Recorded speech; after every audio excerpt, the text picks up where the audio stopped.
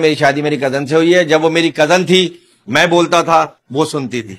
हाँ। फिर वो मेरी मंगेतर हुई फिर वो बोलती थी मैं सुनता था।